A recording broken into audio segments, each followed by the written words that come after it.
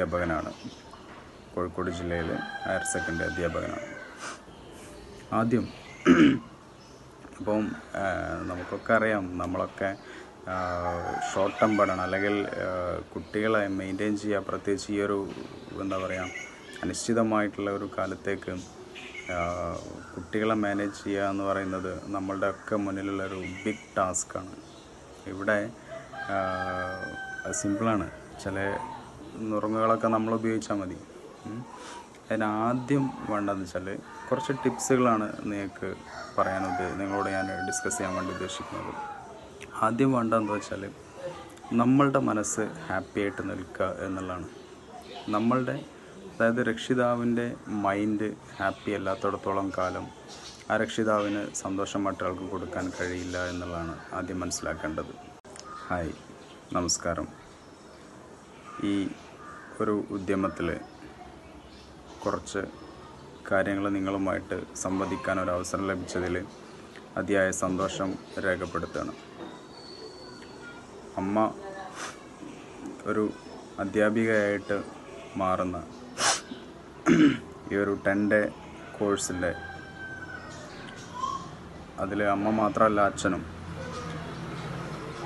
നിലവിൽ നമ്മൾ അനുഭവിച്ചുകൊണ്ടിരിക്കുന്ന ഈ ഒരു പ്രയാസം വല്ലാത്തൊരു അവസ്ഥയിലൂടെയാണ് നമ്മളൊക്കെ കടന്നു പോകുന്നത്. ഇവിടെ ഞാനും നിങ്ങളും നമ്മളെല്ലാവരും കൈക്കൊള്ളേണ്ട ചില ടിപ്സ് അല്ലെങ്കിൽ ഒരു നല്ല രക്ഷിതാവിനുണ്ടായിരിക്കേണ്ട ചില ഗുണങ്ങൾ നമുക്കറിയാം.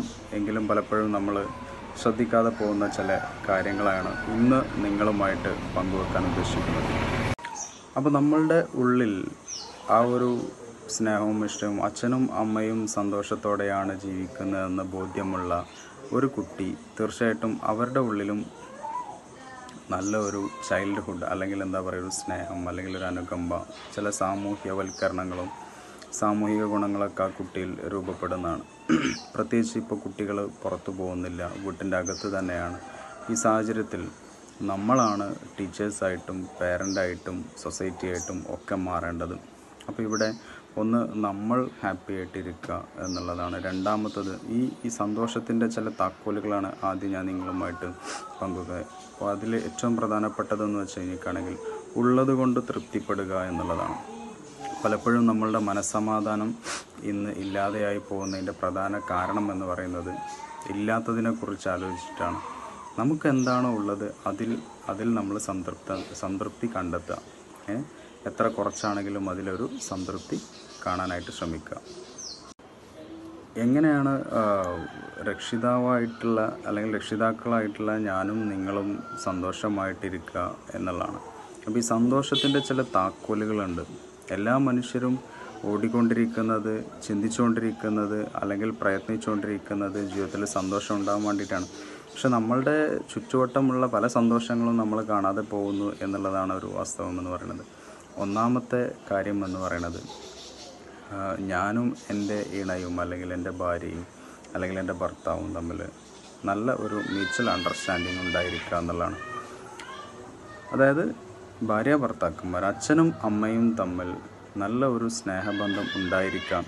അത് മക്കളും കൂടെ അറിഞ്ഞിരിക്കണം ബോധ്യപ്പെട്ടിരിക്കണം എന്നുള്ളതാണ്. അപ്പം നമ്മൾ തമ്മിൽ സ്വരച്ചേർച്ചയില്ലെങ്കിൽ തീർച്ചയായിട്ടും അത് കുഞ്ഞുങ്ങളെ ബാധിക്കും.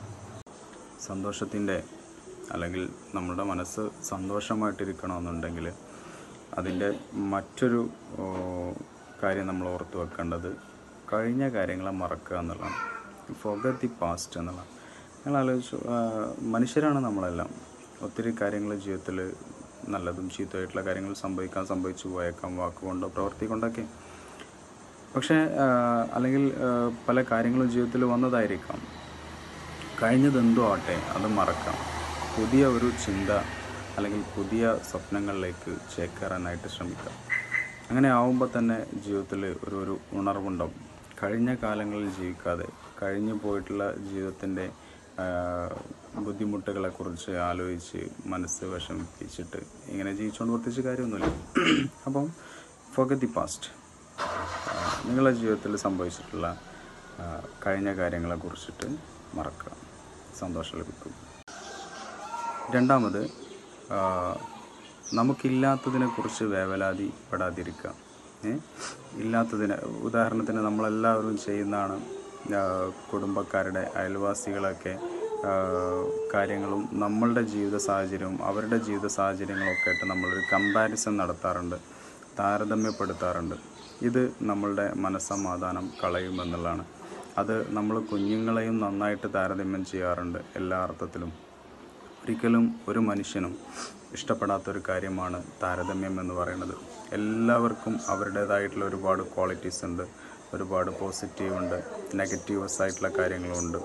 അപ്പം ഓരോ വസ്തുവും വ്യത്യസ്തനാണ് ഓരോ വ്യക്തിയും വ്യത്യസ്തരാണ്. ഓക്കെ അപ്പോൾ നമ്മൾ അനാവശ്യമായിട്ടുള്ള ഈ ഒരു താരതമ്യം കമ്പാരിസൺ ഒഴിവാക്കി കഴിഞ്ഞാൽ തന്നെ നമുക്ക് കുറേ കൂടെ സന്തോഷങ്ങൾ മനസ്സിലുണ്ടാവും. ഞാൻ ഞാനാണ് നിങ്ങൾ നിങ്ങളാണ് എന്റെ ജീവിതം ഇതാണ് എന്ന് നമ്മൾ ബോധ്യപ്പെടുക എന്നുള്ളതാണ്. അടുത്ത പോയിന്റാണ് ഭാവിയെക്കുറിച്ചിട്ടുള്ള ആശങ്കകളല്ല നമുക്ക് വേണ്ടത്. എല്ലാവർക്കും ഭാവിയെക്കുറിച്ച് ആശങ്കകളാണ്. ആശങ്കകളല്ല വേണ്ടത് മറിച്ച് കൃത്യമായ ഒരു പ്ലാനിങ്ങും അതിലേക്കുള്ള ഒരു വർക്കുമാണ് നമുക്ക് ഉണ്ടായിരിക്കേണ്ടത്. നല്ല ഒരു കാഴ്ചപ്പാടുണ്ടാവുക എന്നുള്ളതാണ്. എന്താണ് ഈ കാഴ്ചപ്പാട്? ഒരു കുടുംബം എന്തായി തീരണമെന്ന് ആഗ്രഹിക്കുന്നത് ആ രക്ഷിതാക്കളുടെ ചിന്തയിൽ നിന്നാണ്. നന്നായിട്ട് മനസ്സിലാക്കേണ്ട ഒരു പോയിന്റാണ് നിങ്ങളുടെ ചിന്തകളാണ് നിങ്ങളുടെ കുഞ്ഞുങ്ങൾക്ക് നിങ്ങൾ കൊടുക്കുന്നത്. ആ ചിന്തകളിലൂടെയാണ് നിങ്ങളുടെ ചിന്തയിലൂടെയാണ് നിങ്ങളുടെ കുടുംബം രൂപപ്പെട്ടു വരുന്നത്. അപ്പം നിങ്ങളുടെ ചിന്തകളിൽ പ്രശ്നങ്ങൾ ഉണ്ടായിക്കഴിഞ്ഞാൽ അത് തീർച്ചയായിട്ടും നിങ്ങളുടെ കുടുംബത്തെ ബാധിക്കും. അപ്പം നല്ല ചിന്ത സന്തോഷത്തോടെയുള്ള ഒരു മനസ്സ് നല്ല ഒരു കാഴ്ചകൾ വേണം. കുഞ്ഞുങ്ങളെക്കുറിച്ചിട്ടും കുടുംബത്തെക്കുറിച്ചിട്ടും നല്ല വിഷണറി ഉള്ള ഒരാളാണെങ്കിൽ തീർച്ചയായിട്ടും അതിലേക്ക് വേണ്ടിയിട്ട് നമ്മൾ വർക്ക് ചെയ്തുകൊണ്ടേയിരിക്കാം. ആളുകൾ നമ്മളെ ക്രിട്ടിസൈസ് ചെയ്യും കേട്ടോ. വിമർശിക്കും. വിമർശിച്ചോട്ടെ. നല്ലതിനെടുക്കാം അല്ലാത്ത കാര്യത്തെ നമ്മൾ എന്ത് ചെയ്യാം ഒഴിവാക്കുക ഈ സാധാരണ പറയുന്ന പോലെ ഈ മാവുള്ള മാവിലെ കല്ലെറിയും എന്ന് പറഞ്ഞാൽ എന്തെങ്കിലും ചെയ്യുന്നവർ എല്ലാവരും ഭൂമിയിൽ ആരെങ്കിലും എവിടെയെങ്കിലും എത്തിയിട്ടുണ്ടെങ്കിൽ എന്തെങ്കിലും ചെയ്തിട്ടുണ്ടെങ്കിൽ അവരൊക്കെ വിമർശനങ്ങൾക്ക് വിധേയമായിട്ടുള്ള ആളുകളാണ്. അപ്പോൾ അതിനെക്കുറിച്ച് നിങ്ങൾ എന്ത് ചെയ്യണ്ട റീഡാവണ്ട പലരും വിമർശിക്കും. വിമർശനങ്ങൾ കേൾക്കുമ്പം അംഗീകരിക്കേണ്ടത് അംഗീകരിക്കുകയും അല്ലെങ്കിൽ നെഗ്ലക്റ്റ് ചെയ്യേണ്ടത് അങ്ങ് വിട്ടുകളഞ്ഞേക്കാം ചില കാര്യത്തിന്. അവരതാണ്. ഓക്കെ. മറ്റൊരു സന്തോഷം നമുക്ക് ഉറപ്പിക്കാൻ ഉണ്ടാവേണ്ട ഒരു കാര്യം എന്ന് വെച്ചാൽ set your mind to face the unexpected things എന്നുള്ളതാണ്. വിച്ച് മീൻസ് നമ്മുടെ മൈൻഡിനെ നമ്മൾ എപ്പോഴും എന്ത് ചെയ്യാം? അപ്രതീക്ഷിതമായിട്ടുള്ള കാര്യങ്ങൾ ഫേസ് ചെയ്യാൻ നമ്മൾ എന്ത് ചെയ്യുക സെറ്റ് ചെയ്ത് വെക്കുക എന്നുള്ളതാണ്. മൈൻഡ് സെറ്റ് വലിയൊരു ഘടകമാണ്.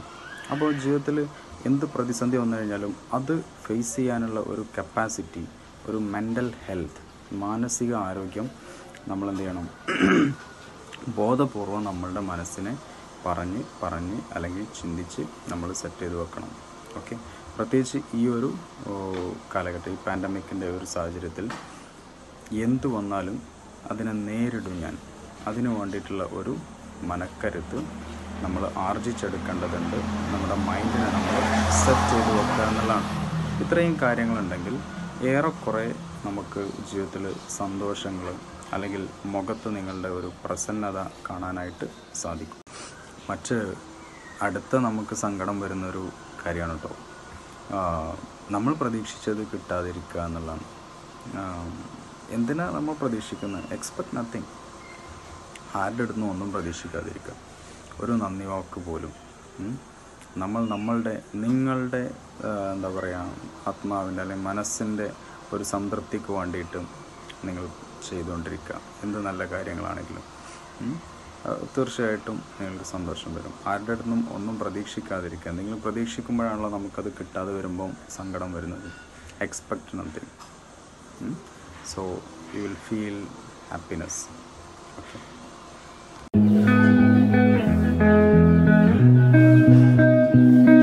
വീട്ടിന്റെ അകത്ത് തന്നെ കുഞ്ഞുങ്ങൾ അനിശ്ചിതമായിട്ട് അനിശ്ചിതമായിട്ടിങ്ങനെ ഇരിക്കുവാണ്. പല രക്ഷിതാക്കളും വിളിക്കാറുണ്ട് സാറേ എന്താ ചെയ്യാം? ഒരു സമാധാനമില്ല എന്താ പറയുക പിള്ളേരെ മെയിന്റെയിൻ ചെയ്യുക അല്ലെങ്കിൽ മാനേജ് ചെയ്യുക എന്ന് പറഞ്ഞു കഴിഞ്ഞാൽ പറ്റുന്നില്ല. എന്താ പറയുക ഒരു പക്ഷേ നിങ്ങളുടെ എസ്പെഷ്യലി അമ്മമാരുടെ ഉമ്മമാരുടെ ഷൗട്ടിങ് ഭയങ്കരമാണ് അല്ലെങ്കിൽ എന്താ പറയുക അക്ഷമരായി പോവാണ്. നമ്മൾ സഹിക്കെട്ടിട്ട് എന്താ പറയുക അവരെ എത്ര അടിച്ചു നിങ്ങൾ എത്ര അടിക്കാറുണ്ട്? അടിച്ചു പോകുന്നതാണ് ഏ കുട്ടികളെ തീരെ അടിക്കണ്ട എന്നല്ല അടിക്കാം. പക്ഷെ പലതും പ്രത്യേകിച്ച് ഒരു കാരണവുമില്ലാതെ ആയിരിക്കും എന്നുള്ളതാണ്. എന്നിട്ട് രാത്രി ഈ കുഞ്ഞുങ്ങൾ കിടന്നുറങ്ങുമ്പോൾ സങ്കടത്തോടെ അവരുടെ ശരീരത്തിൽ മെല്ലെ ഇങ്ങനെ തൊട്ട് തലോടിയിട്ട് പണ്ടില്ലായിരുന്നു കണ്ണീർ പോയിക്കുന്ന എത്ര അമ്മമാരുണ്ട്. നമ്മൾ ഈ കുഞ്ഞുങ്ങളെ അടിച്ചു പോകുന്നതിന്റെ ഒരു കാരണം എന്താണെന്ന് ഞങ്ങൾക്കറിയും. അതാണ് ഞാൻ ഈ ക്ലാസ്സിന്റെ സ്റ്റാർട്ടിങ്ങിൽ പറഞ്ഞത്. നമ്മളുടെ മനസ്സ് സന്തോഷമുള്ളതായിരിക്കണം. അപ്പോഴേ നമുക്ക് സന്തോഷം കൊടുക്കാൻ പറ്റൂ. നമ്മളുടെ മൈൻഡ് എപ്പോഴും വറീഡാണ് എന്തിനൊക്കെയോ കുറിച്ച് വല്ലാതെ അസ്വസ്ഥനായിക്കൊണ്ടിരിക്കുന്ന മനസ്സ് നമ്മൾ അപ്പോൾ കുഞ്ഞുങ്ങളുടെ ചെറിയൊരു കാര്യം അല്ലെങ്കിൽ കുട്ടികളെന്ന് പറഞ്ഞു കഴിഞ്ഞാൽ എന്താണ്? നമ്മളെപ്പോലെ വലിയ ചിന്തകളുണ്ടായി കഴിഞ്ഞിട്ടാണെങ്കിൽ അവർ വലിയ ആളുകളായില്ലേ? അവരുടെ കുസൃതികളും വികൃതികളും എല്ലാം ആകുമ്പോൾ അപ്പോഴേ ആ കുട്ടി കുട്ടിയാവുകയുള്ളൂ. അല്ലെങ്കിൽ ആ കുഞ്ഞ് കുഞ്ഞാവുകയുള്ളൂ. ആ, കളി തമാശകളില്ല എങ്കിൽ അത് കുഞ്ഞല്ല വലുതായി. അപ്പോൾ നമ്മളുടെ മനസ്സിൽ സന്തോഷമുണ്ടാകുമ്പോഴേ നമുക്കത് ആ കുഞ്ഞിന് കൊടുക്കാൻ പറ്റുള്ളൂ. അപ്പോൾ ഒന്നാമത്തെ എന്റെ ഒരു റിക്വസ്റ്റ് എന്താണെന്ന് വെച്ച് കഴിഞ്ഞാൽ നിങ്ങളൊരു നല്ല രക്ഷിതാവാണെങ്കിൽ ക്ഷമിക്കുക അല്ലെങ്കിൽ അടിക്കാൻ പോകുന്ന ഒരു സാഹചര്യത്തിൽ കഴിവിന്റെ പരമാവധി കുട്ടികളെ അടിക്കാതിരിക്കുക. കുഞ്ഞുങ്ങളെ അടിക്കുക എന്ന് പറഞ്ഞത് വളരെ എളുപ്പമുള്ള കാര്യമാണ്. കാരണം അവർ തിരിച്ച് ഇങ്ങോട്ടൊന്നും റെസ്പോണ്ട് ചെയ്യൂല. ഏ? അപ്പോൾ നമ്മൾ അടിച്ചതിന്റെ മുകളിൽ പിന്നെയും അടിച്ചു. അതൊരു ഒരു എന്താ പറയുക പക്ഷേ ചില മിസ്റ്റേക്കുകൾക്ക് നമ്മൾ രണ്ടോ മൂന്നോ നാലോ അഞ്ചോ പത്തോ തവണ വാണിംഗ് കൊടുത്തിട്ടും റിപ്പീറ്റ് ചെയ്യുകയാണെങ്കിൽ നമുക്കൊന്ന് എന്ത് ചെയ്യാം ഒരു അടി അടിക്കാം. രക്ഷിതാവിനുള്ള റൈറ്റ് ഉണ്ട്. ഈ കാലഘട്ടത്തിൽ തീരെ അടിക്കാത്തതിന്റെ അപാകതകൾ ഒരുപാട് അത് വേറെയുണ്ട്. ഏ അങ്ങനെയല്ല. പക്ഷേ എങ്കിലും ഇതിന്റെ ശരിക്കും നിങ്ങൾക്ക് മനസ്സിലാവും. നമ്മൾ പലരും പല കുട്ടികളും തന്നെ നമ്മുടെ അടുത്ത് പറയാറുണ്ട് ഭയങ്കര അടിയാണ്. അല്ലെങ്കിൽ ഈ അടിക്കുമ്പോൾ സ്വാഭാവികമായിട്ട് കുഞ്ഞുങ്ങളുടെ ഉള്ളിലുണ്ടാകുന്ന ഒരു തരം എന്താ പറയുക ആന്റി ക്യാരക്ടർ രൂപപ്പെടുന്നുണ്ട്. ഒരു നെഗറ്റീവ് സ്വഭാവം കുഞ്ഞുങ്ങളിൽ രൂപപ്പെട്ടു വരും. അത് അവരുടെ ക്യാരക്ടറാണ്. ഭയങ്കര ഹാർഷായിട്ട് എന്താ പറയുക ചീത്ത പറഞ്ഞുകൊണ്ടിരിക്കുക. നല്ല ഒച്ചത്തിൽ സംസാരിച്ചുകൊണ്ടിരിക്കുക. ഇതൊക്കെ കുഞ്ഞിന്റെ മനസ്സിനെ ബാധിക്കും. അപ്പോൾ നമുക്ക് ദേഷ്യം വരുവാണെങ്കിൽ അല്ലെങ്കിൽ കുഞ്ഞിനെ അടിക്കാൻ പോകുന്ന സമയത്താണെങ്കിൽ നമ്മളവിടെ മൈൻഡിനോട് ബോധപൂർവം പറയാം അടിക്കൂല. എന്നിട്ട് അവനെ അല്ലെങ്കിൽ അവളെ ഒന്ന് ചേർത്ത് പിടിക്കാം. ഏ? സന്തോഷത്തോടു കൂടി നമ്മുടെ കുഞ്ഞല്ലേ ഒന്ന് കെട്ടിപ്പിടിച്ചിട്ട് അല്ലെങ്കിൽ സന്തോഷത്തോടെ പിടിച്ചിട്ട് അല്ലെങ്കിൽ ആ സാഹചര്യത്തിൽ ഒന്ന് മാറ്റാം. ഏത് ഏത് സന്ദർഭത്തിലാണോ നിങ്ങൾ അടിക്കാൻ പോകുന്നത്? അല്ലെങ്കിൽ കുഞ്ഞിനോട് ദേഷ്യപ്പെട്ടുകൊണ്ടിരിക്കുന്നത്? ആ സന്ദർഭത്തിൽ നിന്ന് കുട്ടിയെ ഇങ്ങോട്ട് മാറ്റാം. അപ്പോൾ പ്രശ്നം അവിടെ സോൾവായി. അപ്പം അത് നന്നായിട്ട് നമ്മളുടെ അല്ലെങ്കിൽ ഒരു ഒരു ഒരു രക്ഷിതാവ് എന്നുള്ള ആൾക്ക് നമ്മൾ ശ്രദ്ധിക്കേണ്ട ഒരു കാര്യമാണ്. അകാരണമായിട്ട് നമ്മൾ കുഞ്ഞുങ്ങളെ എന്ത് ചെയ്യരുത്? അടിക്കരുത്. അത് അവരുടെ മനസ്സിനെ മരവിപ്പിക്കുമെന്ന് മാത്രമല്ല നല്ല ചിന്തകൾ ആ മനസ്സിൽ നിന്ന് വരില്ല. ഒരു റിയൽ ലവ് അല്ലെങ്കിൽ ഒരു യഥാർത്ഥ സ്നേഹം ആ കുഞ്ഞുങ്ങളിൽ ഉണ്ടാവില്ല. ഇനി നമ്മളുടെ കാര്യം എടുക്കാം നമ്മളുടെ അടുത്ത് ഒരാൾ സ്നേഹത്തോടെ പറഞ്ഞാലാണോ നമ്മൾ ഇഷ്ടത്തോടു കൂടി ചെയ്യുക? അതല്ല കമ്പൽ ചെയ്തിട്ട് ഫോഴ്സ് ചെയ്തിട്ട് നിർബന്ധപൂർവം നമ്മുടെ അടുത്ത് ഒരാൾ ഒരു കാര്യം പറയുകയാണെങ്കിൽ ഇത് രണ്ടും ചെയ്യുന്ന സന്ദർഭത്തിൽ നമുക്കുണ്ടാകുന്ന ഒരു മാനസികാവസ്ഥ എന്ന് നിങ്ങൾ ആലോചിച്ച് നോക്കാം നിർബന്ധപൂർവം അത് ചെയ്തിരിക്കണം. ചെയ്തില്ലെങ്കിൽ അങ്ങനെ ആക്കും ഇങ്ങനെ ആക്കും അല്ലെങ്കിൽ ഒരു ഫോഴ്സ് ചെയ്തുകൊണ്ട് നമ്മളൊരു കാര്യം ചെയ്യുമ്പോൾ നമുക്കത് ആസ്വദിക്കാൻ കഴിയില്ല. അല്ലെങ്കിൽ അതിന്റെ മാധുര്യം അനുഭവിക്കാൻ കഴിയില്ല എന്നുള്ളതാണ്. അതാണ് പറയുന്നത്. നേരെ മറിച്ച് നമ്മൾ ഇഷ്ടത്തോടു കൂടെ ചെയ്യുമ്പോൾ തീർച്ചയായിട്ടും അതിന്റെ സന്തോഷം അല്ലെങ്കിൽ അതിന്റെ ഒരു മാധുര്യം അല്ലെങ്കിൽ അതിന്റെ ഒരു ഒരു സുഖം നമുക്ക് അനുഭവിക്കാൻ കഴിയും. അപ്പം ഇവിടെ കുഞ്ഞുങ്ങളുടെ കാര്യമാണെങ്കിലും ശരി അങ്ങനെ തന്നെ. അവർ ഇഷ്ടത്തോടു കൂടി കാര്യങ്ങൾ ചെയ്യുക എന്നുള്ളതാണ്. നമ്മൾ ഫോഴ്സ് ചെയ്തുകൊണ്ട് പഠിക്കാൻ നിർബന്ധിച്ചുകൊണ്ട് നമ്മൾ പഠിപ്പിച്ചു കഴിഞ്ഞാൽ തീർച്ചയായിട്ടും അതിനൊരു നെഗറ്റീവ് റിസൾട്ടാണ് ഉണ്ടാവുക. മറ്റൊരു കാര്യം നമ്മൾ ശ്രദ്ധിക്കേണ്ടതെന്ന് വെച്ച് കഴിഞ്ഞാൽ സ്കൂളുകളിൽ നമുക്കൊരു ടൈം ടേബിൾ ഉണ്ടാവും അല്ലേ? രാവിലെ ഒമ്പത് മണി മുതൽ അല്ലെങ്കിൽ പത്ത് മണി മുതൽ നാല് മണി വരെ. എന്തായാലും ഒരു സ്കൂൾ സംവിധാനമല്ലാത്തിടത്തോളം കാലം വീട്ടിന്റെ അകത്തളങ്ങളിലാവുമ്പം ഇത്രയും ലെങ്തി ആയിട്ടുള്ളൊരു ഡ്യൂറേഷൻ നമുക്ക് സാധ്യമായിക്കൊള്ളുന്നില്ല പക്ഷേ എങ്കിലും നിങ്ങളും അച്ഛനും അമ്മയും കുഞ്ഞും അല്ലെങ്കിൽ കുട്ടികളും ഇരുന്നിട്ട് ഒരു ടൈം ടേബിൾ സെറ്റ് ചെയ്യാം. എല്ലാ ദിവസവും ഇത്ര മണിക്കൂർ. എന്റെ ഒരു ഒപ്പീനിയൻ എന്താണെന്ന് വെച്ച് കഴിഞ്ഞിട്ടാണെങ്കിൽ ഒരു three two four hours in a day depends upon the class കുഞ്ഞ് first സ്റ്റാൻഡേർഡിലാണെങ്കിൽ maximum two hours that will be enough അത് അത്രയും മതിയാവും. ഓരോ കുഞ്ഞുങ്ങളുടെ ഗ്രേഡിനനുസരിച്ചിട്ട് അവർ പഠിക്കുന്ന സ്റ്റാൻഡേർഡിനനുസരിച്ചിട്ട് ഒരു അതും കണ്ടിന്യൂസ് അല്ല. ഒരു half an hour half an hour ഇടവിട്ടും കൊണ്ട് ചെയ്യുക അതിൽ നമുക്ക് വ്യത്യസ്ത സബ്ജക്റ്റുകൾ സെറ്റ് ചെയ്യാം. Nine to nine thirty maths പിന്നെ ten to ten thirty English then ten eleven to eleven thirty Malayalam. ഇങ്ങനെ ഒരു ടൈം ടേബിൾ നമുക്ക് സെറ്റ് ചെയ്യാം. വീടിന്റെ അകത്തളങ്ങൾ വിദ്യാലയങ്ങളായി മാറേണ്ട സാഹചര്യം എന്നേ കഴിഞ്ഞു. എന്ന് ഇനി വിദ്യാലയങ്ങൾ തുറക്കും അല്ലെങ്കിൽ സ്കൂൾ കോളേജുകൾ തുറക്കും എന്നുള്ളതിനെക്കുറിച്ച് നമുക്കൊരു നിശ്ചയമില്ല എല്ലാവരും ആശങ്കയിലാണ്. അപ്പം ഈ സാഹചര്യത്തിൽ നമ്മൾ ചെയ്യേണ്ടത് ഒന്ന് വീട്ടിന്റെ അകത്ത് പഠിക്കാനുള്ള ഒരു അറ്റ്മോസ്ഫിയർ ക്രിയേറ്റ് ചെയ്യുക എന്നുള്ളതാണ്. വീട്ടിന്റെ അകത്ത് അറ്റ്മോസ്ഫിയർ ക്രിയേറ്റ് ചെയ്യുക എന്ന് പറഞ്ഞു കഴിഞ്ഞാൽ ലക്ഷങ്ങൾ കൊടുത്തിട്ട് ആയിരങ്ങൾ കൊടുത്തിട്ട് പതിനായിരങ്ങൾ കൊടുത്തിട്ട് ബെഡും സോഫയും ഫർണിച്ചറും മറ്റെല്ലാ വസ്തുക്കളും നമ്മൾ അറേഞ്ച് ചെയ്യുന്നുണ്ടല്ലോ. കുട്ടിക്ക് പഠിക്കാൻ ആവശ്യമായിട്ടുള്ള ഒരു ക്ലാസ് റൂം പോലെ ഒരു ബെഡ്റൂമിനെ അല്ലെങ്കിൽ ഒരു ഒഴിഞ്ഞ ഹാളിനെ അല്ലെങ്കിൽ കുട്ടി പഠിക്കുന്ന ഒരു കോർണറിനെങ്കിലും മാറ്റാനായിട്ട് ശ്രമിക്കുക. ഏറ്റവും ചുരുങ്ങിയത് ഒരു ബോർഡ് റൂമിൽ സ്ഥാപിക്കുക എന്നുള്ളതാണ്. അവിടെ കുഞ്ഞ് എഴുതി പഠിക്കട്ടെ. അല്ലെങ്കിൽ അവർ ചിത്രങ്ങൾ വരച്ചിട്ടോ ഏതാണ് ഓരോ ക്ലാസ്സിൽ പഠിക്കുന്ന ഗ്രേഡ് അനുസരിച്ചിട്ട് കാര്യങ്ങൾ അവിടെ നിന്ന് പഠിക്കട്ടെ. ഒരു ലേണിംഗ് അറ്റ്മോസ്ഫിയർ വീടിന്റെ അകത്ത് ക്രിയേറ്റ് ചെയ്യുക എന്നുള്ളതാണ് അക്കാഡമിക്സിൽ നമുക്ക് ചെയ്യാനുള്ള ഫസ്റ്റ് സ്റ്റെപ്പ് അങ്ങനെ കുട്ടി ടൈം ടേബിൾ സെറ്റ് ചെയ്തുകൊണ്ട് പഠിക്കാനായിട്ട് ഇരിക്കുമ്പോൾ അവിടെ രക്ഷിതാവിന്റെ റോൾ എന്തെന്ന് വെച്ച് കഴിഞ്ഞിട്ടാണെങ്കിൽ ചിലപ്പോൾ നിങ്ങൾ കാഴ്ചക്കാരനായിരിക്കും. കുഞ്ഞ് ചെയ്യുന്നത് നിങ്ങൾ നോക്കിയിരിക്കുക അല്ലെങ്കിൽ ആ കുഞ്ഞിനെ അസിസ്റ്റ് ചെയ്യാം. അപ്പോൾ അവിടെ പലപ്പോഴും രക്ഷിതാക്കൾ പറയുന്നുണ്ട് ഹയർ ക്ലാസ്സിലാണെന്നുണ്ടെങ്കിൽ ഇത് പറഞ്ഞു കൊടുക്കാൻ നമുക്ക് പറ്റുന്നില്ല എന്നുള്ളത്. അവിടെ നിങ്ങൾക്ക് ആ കൺസേൺഡ് ടീച്ചേഴ്സിന് അല്ലെങ്കിൽ കുഞ്ഞ് പഠിക്കുന്ന സ്കൂളിലെ ടീച്ചേഴ്സിന്റെ സഹായം നിങ്ങൾക്ക് തേടാവുന്നതാണ്. ഓക്കെ? പ്രത്യേകിച്ച് താഴെ ക്ലാസ്സിൽ പഠിക്കുന്ന കുട്ടികളെ സംബന്ധിച്ചോളം ബേസിക്സ് ക്ലിയർ ആക്കേണ്ട ഒരു കാര്യമാണ്. അപ്പോൾ കുഞ്ഞുങ്ങളെ കൊണ്ട് നമ്മൾ ഒരു ഒരു ദിനചര്യ വീട്ടിൽ ഉണ്ടാക്കിയെടുക്കും. ഒരു daily routine for example newspaper reading ആവാം. അപ്പോൾ അതിൽ ഈ ഇവിടെ നമ്മൾ അവരുടെ കൂടെ ഉണ്ടാവുക എന്നുള്ളതാണ്. കുഞ്ഞുങ്ങളുടെ കൂടെ ഉണ്ടാവുക. കാരണം ജീവിതത്തിൽ നമുക്ക് രക്ഷിതാവിന് കുഞ്ഞിന് കൊടുക്കാൻ പറ്റുന്ന ഏറ്റവും ഇമ്പോർട്ടന്റ് ആയിട്ടുള്ള കാര്യം എന്ന് പറയുന്നത് എഡ്യൂക്കേഷനാണ് അപ്പോൾ ഈ സാഹചര്യത്തിൽ നമ്മൾ അങ്ങോട്ടും ഇങ്ങോട്ടും പഴി ചാരുന്നതിലോ അല്ലെങ്കിൽ കുറ്റം പറയുന്നതിലോ സ്കൂളിനെ കുറ്റം പറയുന്നതിലോ കാര്യമില്ല.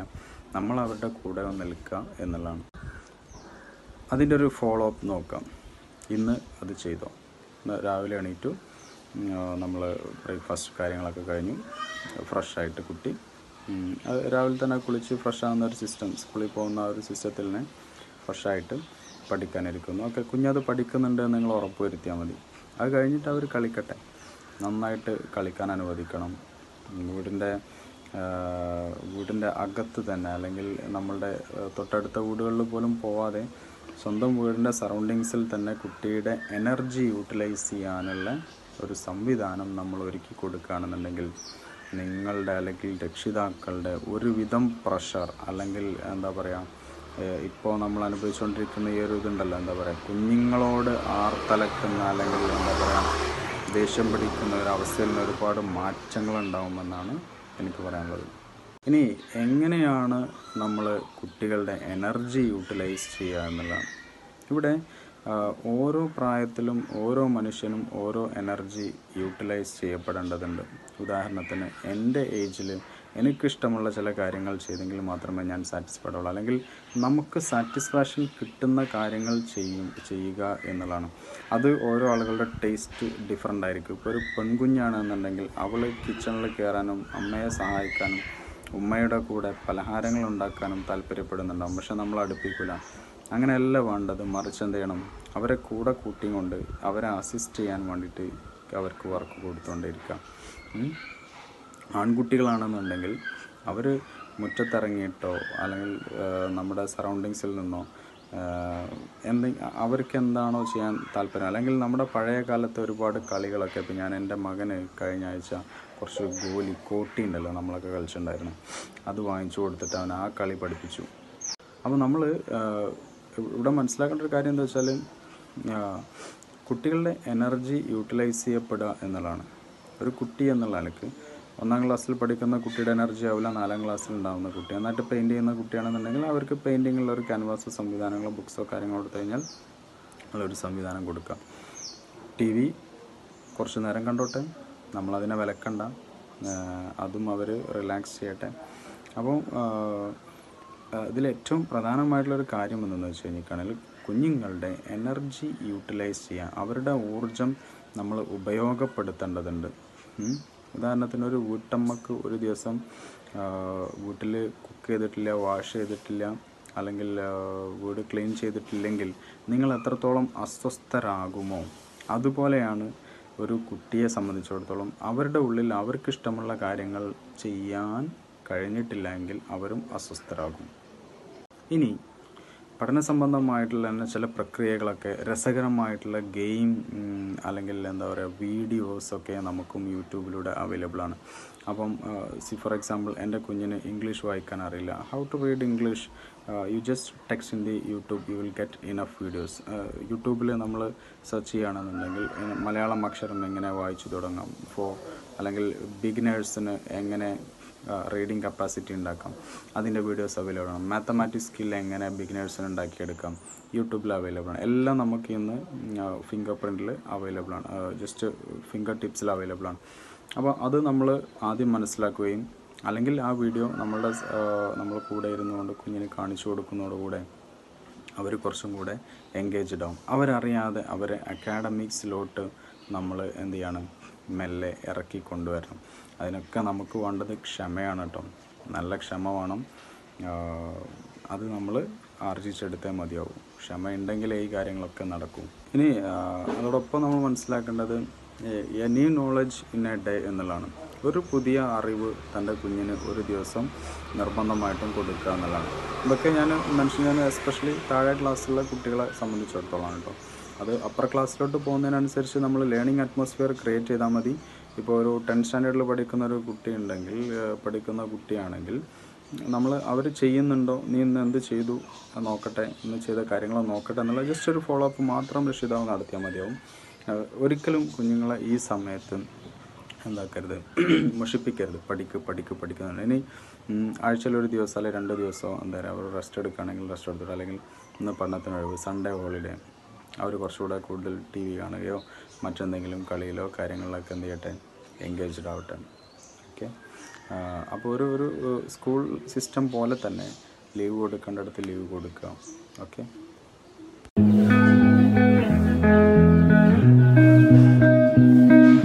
ജീവിതത്തിൽ കുട്ടികളെന്ന് മാത്രമല്ല സകലമാന മനുഷ്യരും ജീവികളും ആഗ്രഹിക്കുന്ന ഒറ്റ കാര്യമുള്ളൂ റെക്കഗ്നിഷൻ ഐഡന്റിറ്റി പരിഗണന എന്ന് പറയുന്നത് ജീവിതത്തിൽ ഇപ്പോൾ ഉദാഹരണത്തിന് നമ്മൾ വലിയൊരു റിസപ്ഷനിൽ ഒരു മാരേജ് ഫംഗ്ഷന് ചെല്ലുവാണ്.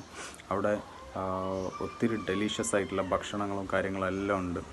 പക്ഷേ നമ്മൾ അവിടുന്ന് എത്ര ഭക്ഷണം കഴിച്ചാലും ശരി നമുക്ക് നല്ല ഒരു റിസപ്ഷൻ നമുക്ക് കിട്ടിയിട്ടില്ല എങ്കിൽ ഇൻ ദ സെൻസ് കയറി ചെല്ലുമ്പോൾ നമ്മളെ റിസീവ് ചെയ്യാൻ പുഞ്ചിരിച്ചുകൊണ്ട് നമ്മളെ റിസീവ് ചെയ്യാൻ അവിടെ ഒരാളില്ല എങ്കിൽ അല്ലെങ്കിൽ ആ ഒരു റിസപ്ഷൻ നമുക്ക് കിട്ടിയില്ല എങ്കിൽ ആ ഒരു പരിഗണന നമുക്ക് കിട്ടിയില്ല എങ്കിൽ അവിടുന്ന് എത്ര വലിയ ലക്ഷറിയസ് ആയിട്ടുള്ള ഡെലീഷ്യസ് ആയിട്ടുള്ള ഭക്ഷണം കഴിച്ചാലും നമ്മളുടെ മനസ്സ് നിറയില്ല എന്നുള്ളതാണ്. അപ്പോൾ ഇത് തന്നെയാണ് ജീവിതത്തിൽ എല്ലാ മനുഷ്യനും ആഗ്രഹിക്കുന്നത്. എന്നെ പരിഗണിക്കപ്പെടണം. അതിന് എന്നെ പരിഗണിക്കപ്പെടണമെങ്കിൽ നമ്മൾ ചെയ്യേണ്ടത് എന്താണ്? നമ്മൾ തിരിച്ചും പരിഗണിക്കുക എന്നുള്ളതാണ്. എല്ലാവർക്കും അവരുടേതായിട്ടുള്ളൊരു സ്പേസ് ഉണ്ട്. അവരുടേതായിട്ടുള്ളൊരു പരിഗണന നമ്മൾ കൊടുക്കേണ്ടതുണ്ട്. എങ്കിൽ തിരിച്ച് നിങ്ങളെയും പരിഗണിക്കപ്പെടും എന്നുള്ളതാണ്. കുട്ടികളുടെ മനസ്സ് പലപ്പോഴും ആകെ വറീഡാവുന്ന അല്ലെങ്കിൽ എന്താ പറയുക ചില മനസ്സിൽ പിന്നെ ഒന്നും മുളക്കില്ല അല്ലെങ്കിൽ അത്രയും ഫ്രസ്ട്രേറ്റഡ് ആയിട്ടുള്ള പല കുട്ടികളെയും കണ്ടിട്ടുണ്ട്. ഇതിന്റെ കാരണം അന്വേഷിച്ച് പോകുമ്പോൾ ഒന്ന് എന്താ പറയുക ഈ ചീത്ത പറച്ചിലാണ്. അതായത് വളരെ മോശമായിട്ടുള്ള ഭാഷ അല്ലെങ്കിൽ ഹാഷായിട്ടുള്ള രീതിയിൽ കുട്ടികളെ ചീത്ത പറയും ചില രക്ഷിതാക്കൾ അത് ആ മനസ്സിൽ തിരിച്ചാലോചിച്ചാൽ മതി. നമ്മളെ ഒരാൾ വളരെ മോശമായിട്ടുള്ള രീതിയിൽ അല്ലെങ്കിൽ ഉച്ചത്തിൽ ചീത്ത പറയുമ്പോൾ അയാളോട് നമുക്ക് എന്താണ് മനസ്സിലുണ്ടാവുക എന്നുള്ളത് തിരിച്ചാലോചിച്ചാൽ മതി. അപ്പം അപ്പോൾ മിസ്റ്റേക്കുകളൊക്കെ നമ്മൾ മിസ്റ്റേക്ക് കാണിച്ചു കൊടുക്കണം. ബോധ്യപ്പെടുത്തി കൊടുക്കുക എന്ന് പറയും. കുഞ്ഞിന്റെ അടുത്തൊരു മിസ്റ്റേക്ക് കണ്ടാൽ അത് തെറ്റാണ്. അതിങ്ങനെയാണ് ചെയ്യേണ്ടത്. ആ മിസ്റ്റേക്കുകൾ ബോധ്യപ്പെടുത്തുന്നിടത്താണ് ഏറ്റവും പ്രധാനപ്പെട്ട കാര്യം. ഒരുപാട് കുറ്റപ്പെടുത്തുന്നതോടൊപ്പം നമ്മൾ കുറ്റപ്പെടുത്തുന്നതോടൊപ്പം തന്നെ നമ്മൾ ചെയ്യേണ്ട ഒരു കാര്യം എന്തെന്ന് വെച്ച് കഴിഞ്ഞിട്ടാണെങ്കിൽ മോളല്ലെങ്കിൽ മോനെ അതിങ്ങനെയാണ് ചെയ്യേണ്ടത്. ഇങ്ങനെ ചെയ്യുമ്പോഴാണ് അത് നന്നാവുക എന്ന് നമ്മൾ കുഞ്ഞുങ്ങൾ എന്ത് ചെയ്യേണ്ടതുണ്ട്? ബോധ്യപ്പെടുത്തണം. അല്ലാത്ത പക്ഷം അവരിൽ മറ്റു പല ചിന്തകളോ അല്ലെങ്കിൽ നെഗറ്റീവ് സൈഡിലായിട്ടുള്ള ആസ്പെക്ട്സിലേക്കാണ് മൈൻഡ് പോവുക. സ്നേഹം പല രീതിയിൽ പല രൂപത്തിൽ നമുക്ക് പ്രകടിപ്പിക്കാം. ഏത് മനുഷ്യരോടാണെങ്കിലും ഇപ്പോൾ കുഞ്ഞുങ്ങളോടാണെങ്കിൽ പോലും ഏത് രീതിയിലും നമുക്ക് എന്ത് ചെയ്യാം സ്നേഹം പ്രകടിപ്പിക്കാം. സ്നേഹം പ്രകടിപ്പിക്കുന്നതിൽ ഏറ്റവും പ്രധാനമായിട്ടുള്ള ഒരു ഒരു ഇമ്പോർട്ടന്റ് ആയിട്ടുള്ള ഒരു കാര്യമാണ് ഇപ്പോൾ നമ്മുടെ ടച്ച് ഹങ്കർ എന്ന് പറയും. അച്ഛൻ അമ്മ കുഞ്ഞിനെ തൊടുമ്പോൾ അല്ലെങ്കിൽ ഒന്ന് ഹഗ് ചെയ്യുമ്പോൾ കെട്ടിപ്പിടിക്കുമ്പോൾ അല്ലെങ്കിൽ ഒരു ഉമ്മ കൊടുക്കുമ്പോൾ എന്റെ കുഞ്ഞാണ്. നമുക്ക് നമ്മൾ കുഞ്ഞുങ്ങൾക്ക് ഓർമ്മയില്ലാത്ത കാലത്ത് രണ്ട് വയസ്സ് വരെ മൂന്ന് വയസ്സ് വരെ നടന്ന കാര്യങ്ങളൊന്നും അവർക്ക് ഓർമ്മ ഉണ്ടാവില്ല. അന്ന് നമ്മൾ ഒരുപാട് കെട്ടിപ്പിടിച്ചിട്ടുണ്ട് ഉമ്മ കൊടുത്തിട്ടുണ്ട് താലോലിച്ചിട്ടുണ്ട് പക്ഷെ ഓർമ്മ വെച്ച നാൾ മുതൽ നമ്മളത് കൊടുത്തിട്ടുണ്ടാവില്ല. കൊടുക്കണം. സമയം സമയവും സന്ദർഭം അനുസരിച്ചിട്ട് നമ്മൾ എന്ത് ചെയ്യണം? നമ്മളുടെ കുഞ്ഞുങ്ങളെ ചേർത്ത് പിടിച്ച് കെട്ടിപ്പിടിച്ച് അവർ നല്ല കാര്യം ചെയ്യുമ്പോൾ അവരെ അപ്രീഷിയേറ്റ് ചെയ്തുകൊണ്ട് തെറ്റുകൾ ഉണ്ടാകുമ്പം അവരെ നമ്മൾ കറക്റ്റ് ചെയ്തുകൊണ്ട് ബോധ്യപ്പെടുത്തിക്കൊണ്ട് നമ്മളെ നമ്മൾ കുട്ടികളെ നമ്മൾ ചേർത്ത് പിടിക്കുക. അവർക്ക് നിങ്ങളുടെ ഉള്ളിലുള്ള സ്നേഹം അവരെ തൊട്ടുകൊണ്ട് അറിഞ്ഞുകൊണ്ട് സ്പർശിച്ചുകൊണ്ട് നമ്മൾ എന്ത് ചെയ്യാം? അത് പ്രകടിപ്പിക്കാം. ഈ സ്നേഹപ്രകടനം ഏറ്റവും നന്നാവുക നന്നാവുന്നത് എപ്പോഴാണെന്ന് ചോദിച്ചു കഴിഞ്ഞിട്ടാണെങ്കിൽ നമ്മൾ തൊടണം എന്നുള്ളതാണ്. ഇപ്പോൾ ഭാര്യയ്ക്ക് ഭർത്താവിനെയും ഭർത്താവിന് ഭാര്യയും തൊടാൻ ആഗ്രഹമുള്ളവരെ പോലെ തന്നെ കുഞ്ഞിന് രക്ഷിതാക്കളുടെ സ്പർശനം അല്ലെങ്കിൽ അവരാഗ്രഹിക്കുന്നുണ്ട്. നമ്മളേറ്റവും സങ്കടപ്പെട്ടിരിക്കുന്ന സമയത്ത് നമ്മളെ ഒന്ന് കെട്ടിപ്പിടിച്ച് നമ്മളൊന്ന് ഹഗ് ചെയ്തുകൊണ്ട് സാരമില്ല ശരിയായിക്കോളും എന്ന് പറയുമ്പോൾ നമുക്ക് കിട്ടുന്ന ഒരു ഫീലിംഗ് ആശ്വാസം എത്രത്തോളമാണോ. അതുപോലെ തന്നെയാണ് കുട്ടികൾക്കും അപ്പോൾ അതിൽ നമ്മൾ പിശുക്ക് കാണിക്കണ്ട? അത് തീർച്ചയായിട്ടും കുഞ്ഞുങ്ങളുടെ ഹൃദയങ്ങളിൽ മനസ്സുകളിൽ ജീവിതത്തിൽ ഒരുപാട് മാറ്റങ്ങൾ ഉണ്ടാക്കും. നമ്മളൊരു രക്ഷിതാവ് ശരിക്ക് ഒരു കുഞ്ഞിനെ ഒന്ന് കെട്ടിപ്പിടിച്ച് സന്തോഷത്തോടു കൂടി അവരുടെ ഒരു ഒരു സ്നേഹം പ്രകടിപ്പിച്ചു കഴിഞ്ഞാൽ തീർച്ചയായിട്ടും നല്ല ഒരു ഒരു മാറ്റം കുഞ്ഞുങ്ങളിൽ ഉണ്ടാക്കിയെടുക്കാനായിട്ട് നമുക്ക് സാധിക്കും. രാത്രി കുഞ്ഞുങ്ങൾ കിടന്നുറങ്ങാൻ പോകുന്ന സമയത്ത് അവരെ കൂടെ കുറച്ച് നേരം കിടന്ന് അത് അവരെ തലോടി അവരോട് ഒരു ഒരു ഓപ്പൺ ടോക്കാണ്. ഞാനിങ്ങനെ പറഞ്ഞു പോകുമ്പം അതിലൊരുപാട് പോയിൻസുകൾ വരുന്നുണ്ടാവും. ഒരു എന്താ പറയുക രക്ഷിതാക്കളും കുട്ടികളും തമ്മിൽ ഉള്ളു തുറന്നിട്ടുള്ള സംസാരങ്ങൾ ഉണ്ടാവണം എന്നാണ് പറയുന്നത്. ഹൃദയം കൊണ്ട് സംസാരിക്കണം. രക്ഷിതാക്കൾക്കോ സംസാരിക്കാൻ സമയമില്ല. പിന്നെ എങ്ങനെ കുഞ്ഞുങ്ങളോട് സംസാരിക്കും? അങ്ങനെയല്ല. ഇന്ന് ലോകത്ത് അന്യം നിന്ന് പോകുന്ന അല്ലെങ്കിൽ എന്താ പറയുക ആളുകളിൽ ആളുകൾ ശ്രദ്ധിക്കാതെ പോകുന്ന അല്ലെങ്കിൽ എല്ലാവരും ആഗ്രഹിക്കുന്ന കാര്യമാണ് എന്നെ കേൾക്കാൻ ആളില്ല. ഞാൻ പറയുന്നത് ശ്രദ്ധിക്കാൻ ആളില്ല. അത് വലിയൊരു പോയിന്റാണ് ഏതൊരു കുട്ടിക്കും ഏതൊരു മുതിർന്ന ആൾക്കും എല്ലാവർക്കും ഒത്തിരി കാര്യങ്ങൾ പറയാനുണ്ട്. അപ്പോൾ നമ്മൾ പരസ്പരം എല്ലാവർക്കും പറയാനുള്ള കാര്യങ്ങൾ നമ്മൾ കേൾക്കുകയും പരസ്പരം ലിസണേഴ്സ് ആവുക എന്നതാണ്. നല്ലൊരു കേൾവിക്കാരനാവുക പര പല പരസ്പരം. അങ്ങനെ വീടിന്റെ അകത്ത് അമ്മയും അച്ഛനും കുട്ടികളും ഉപ്പയും ഉമ്മയും മക്കളും വല്യമ്മയും വല്യപ്പയും വല്യച്ഛനും വല്യമ്മയും എല്ലാവരും ഒരു തുറന്ന സംസാരമുള്ള അല്ലെങ്കിൽ അത് വൈകുന്നേരങ്ങളിലോ രാത്രികളിലോ അല്ല എപ്പോഴാണ് സമയങ്ങളിൽ ഇപ്പോൾ പ്രത്യേകിച്ച് എല്ലാവരും വീട്ടിന്റെ അകത്താകുമ്പം ആ, ഒരു തുറന്ന സംസാരം ഉണ്ടല്ലോ. ശരിക്കും പറഞ്ഞു കഴിഞ്ഞിട്ടാണെങ്കിൽ എത്ര കോടി രൂപ ലഭിച്ചാൽ പോലും ആ ഒരു സന്തോഷം ഉണ്ടാവില്ല. സന്തോഷമുള്ള ഒരു വീടിന്റെ അകത്ത് നിന്ന് സന്തോഷമുള്ള ഒരു തലമുറയും കുടുംബവും കുട്ടികളും ജനിക്കുള്ളൂ. അവിടെ ആ ഒരു തുറന്ന സംസാരങ്ങൾ വേണം. ഫ്രീ ആയിട്ട്. നമ്മൾ ഭക്ഷണം കഴിക്കുന്ന സമയത്താണെങ്കിലും കുട്ടികളുടെ അവരുടെ സ്വപ്നങ്ങളെ ഷെയർ ചെയ്യാൻ വേണ്ടിയിട്ട് വരണം. അവരെന്തേലും സ്വപ്നം പറയുമ്പോൾ തന്നെ അതിനെ പുച്ഛിച്ച് തള്ളിയാൽ പിന്നെ അവർ പറയില്ല. ചിരിച്ചു കളഞ്ഞാൽ പറയില്ല. മറിച്ച് അവരെ നമ്മൾ കേൾക്കണം എല്ലാ അർത്ഥത്തിലും. പലപ്പോഴും നമുക്ക് നമ്മളുടെ കുഞ്ഞുങ്ങൾ അവർ കുട്ടികൾ തന്നെ അല്ലെ കുഞ്ഞുങ്ങളാണ്. പക്ഷേ ഇവിടെ നമ്മൾ മനസ്സിലാക്കേണ്ട ഒരു ഫാക്ടർ എന്തെന്ന് വെച്ച് കഴിഞ്ഞിക്കാണെങ്കിൽ ഒരു പക്ഷേ നമ്മളെക്കാൾ ഉയർന്നവർ ചിന്തിക്കുന്നുണ്ടാവും പല കാര്യത്തിലും. നമ്മളെക്കാൾ എല്ലാ കാര്യങ്ങളും അവർക്കറിയാം. പക്ഷെ നമ്മളുടെ വിചാരം എന്താ വെച്ചാൽ അവർ കുട്ടികളാണ് അവർക്കൊന്നും അറിയില്ല. അവർക്കത് മനസ്സിലാക്കാൻ പറ്റുന്നില്ല. ഇങ്ങനെയാണ്. പലപ്പോഴും നമ്മൾ പറയുന്നുണ്ട് കുട്ടികളാണ് ഇത്തരം കാര്യങ്ങളൊന്നും ഇടപെടണ്ട എന്ന് പറയാറുണ്ട്. എന്നാൽ അതേ സ്ഥാനത്ത് നമ്മൾ പറയും ഇത്ര വലിപ്പം വെച്ചു ആ, പോത്ത് പോലെയൊക്കെ ഇത്ര വലുപ്പം വെച്ച് ഇപ്പോഴും ചെറിയ കുട്ടികളെ പോലെ കളിക്കാൻ നോക്കും അപ്പോൾ ഇവിടെ കുട്ടികളുടെ മനസ്സിൽ രൂപപ്പെടുന്ന ഒരു ചോദ്യമുണ്ട്. ഹു ആമൈ ഞാൻ ആരാണ്? നേരത്തെ നിങ്ങൾ പറഞ്ഞു നീ കുട്ടിയാണ്. ഇപ്പോൾ പറയുന്നു നീ മുതിർന്ന ആളാണെന്ന്. ഇവിടെ രക്ഷിതാവ് മനസ്സിലാക്കേണ്ട ഒരു കാര്യം എന്തെന്ന് വെച്ചാൽ എനിക്കാണെങ്കിൽ ഓരോ ഏജ് ലെവലിനനുസരിച്ചിട്ട് കുട്ടികൾക്ക് കൊടുക്കേണ്ട അർഹിക്കുന്ന പരിഗണന നമ്മൾ കൊടുക്കണം എന്നുള്ളതാണ് ഈ ഒരു സെഷന്റെ അവസാനത്തെ വീഡിയോ ആണ്. എന്നെ ഇതുവരെ കേട്ട നിങ്ങൾക്കെല്ലാവർക്കും നന്ദി. ഒരുപാട് വൈഡായിട്ടുള്ള ഏരിയ ആണെങ്കിലും അവിടെ നിന്നൊക്കെ നുള്ളിപ്പെറുക്കിയെടുത്ത ചെറിയ ചെറിയ കുഞ്ഞു കുഞ്ഞു കാര്യങ്ങളാണ് നിങ്ങളുടെ അടുത്ത് പറഞ്ഞിട്ടുള്ളത്. എന്തെങ്കിലും പോരായ്മകളുണ്ടെങ്കിൽ ക്ഷമിക്കണം എന്ന് അഭ്യർത്ഥിക്കുന്നതോടൊപ്പം നമ്മളുടെ ജീവിതത്തിൽ ഏറ്റവും വലിയ സമ്പത്ത് എന്ന് പറയുന്നത് നമ്മളുടെ മക്കളാണ്. ഏറ്റവും വലിയ സമ്പത്ത് നമ്മളുടെ മക്കളാണ്. അവർക്ക് നിങ്ങൾക്ക് കൊടുക്കാവുന്ന നിങ്ങളുടെ സ്നേഹം കാരുണ്യം നല്ല ചിന്ത നല്ല കാഴ്ചപ്പാടുകൾ. അത് ഏറ്റവും പ്രധാനമാണ്. മൂല്യങ്ങൾ നമ്മൾ കുഞ്ഞുങ്ങളിൽ ഉണ്ടാക്കി കൊടുക്കണം. മറ്റൊരാളോട് പകയും വെറുപ്പും വിദ്വേഷവും അല്ല നമ്മളിൽ നിന്ന് നമ്മുടെ കുഞ്ഞ് പഠിക്കേണ്ടത്. മറിച്ച് നല്ല മൂല്യങ്ങൾ നമ്മൾ കുഞ്ഞുങ്ങൾക്ക് പഠിപ്പിച്ചു കൊടുക്കണം. ക്ഷമിക്കാൻ പഠിപ്പിച്ചു കൊടുക്കണം. പൊറുക്കാൻ പഠിപ്പിച്ചു കൊടുക്കണം. വിട്ടുകൊടുക്കില്ല എന്നല്ല. വിട്ടുകൊടുക്കണം. മാപ്പുകളെ ക്ഷമിക്കാനൊക്കെ എല്ലാം എല്ലാ ക്വാളിറ്റീസും നമ്മളുടെ രക്ഷിതാക്കൾ നമ്മളുടെ കുഞ്ഞുങ്ങൾ പഠിക്കണം. എല്ലാവർക്കും എല്ലാവിധ ആശംസകളും നേർന്നുകൊണ്ട് നിർത്തുന്നു. നന്ദി നമസ്കാരം.